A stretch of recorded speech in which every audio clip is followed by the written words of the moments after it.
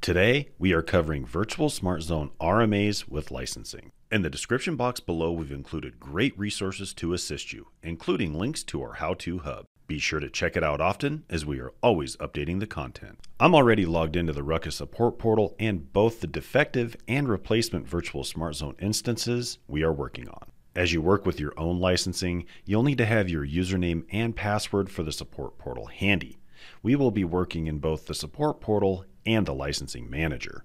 The goal of what we are achieving is to move all of our virtual Smart Zone instance licensing from one instance to another. It sounds difficult, but lucky for us, the tools make it really quite simple. That said, this process becomes much longer if we don't already have our new VSZ instance up and running. So if you haven't done that yet, I'd recommend you get the installation of your new VSZ instance done prior to performing the following steps. To begin, we need to capture the serial number of our defective Virtual Smart Zone instance. Navigate to System, and our serial number is located here. I'll copy the serial number to the clipboard and we'll head to the Licensing Manager, or LiMAN for short. In LiMAN, we are going to search for our serial number. We see the search returns a result. Let's right click and open this in a new tab. In the new tab, we can see which license types are attached to our Virtual Smart Zone instance. In your case, you'll most likely have a larger number of licenses attached, but this is a demonstration, so we only have a few. Once we perform the transfer, the support and RTU licenses will transfer over to your new instance automatically. Other license types that are managed by the license pool will land in the pool once again, and we will need to map them to the new instance. Let's return to the LiMAN tab. Under Action, we have an RMA button. I'll click there. We are now taken to the Open a New Case page. Under Step 1, select VSCG VSpot and a priority of P4. Even if this is an emergency, select P4. We are handling the entire process ourselves, so selecting a P1 won't make this process work any faster. For step two, we need to include both serial numbers. The serial number of the defective instance is already populated. So naturally, we need to gather the serial number of our new instance. In our new instance, navigate to System. We can copy the serial number here into our clipboard. Now we go back to the support portal and paste the serial number in the new serial number field. Then we click Submit.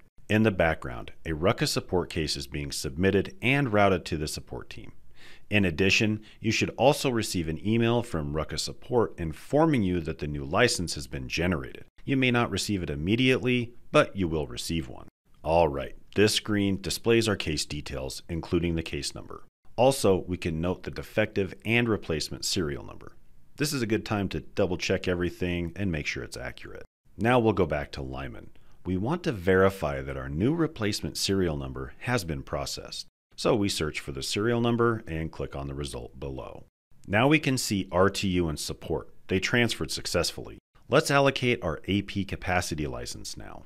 The license should be back in our license pool, so we just need to allocate it to the new serial number. Click on the plus license button.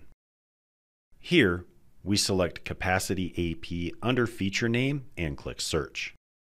Our search results show our license. We just add a quantity of 5 Scroll down and click on Add License. We have two options in terms of loading the license to our new Virtual Smart Zone instance. We can download the file and manually add it to the instance, or we can use the Sync Now option. The sync option works if you have internet access from Smart Zone itself. If we don't have access to the internet, say because our firewall rules filter that traffic, or the instance is new or at a remote site without access, we'll need to download the license file to our computer and install it manually. I'm going to download the file for example's sake and show you where to upload the file. In SmartZone, navigate to Administration and Licenses. Here you'll note you have an Upload button. This is where you upload the license file that we've just downloaded. I'm going to use the Sync Now option. So we click on Sync Now, and you notice the AP capacity license was loaded almost immediately. Before you go, be sure to check the description box below and access any of the great resources we've provided. Thanks for watching.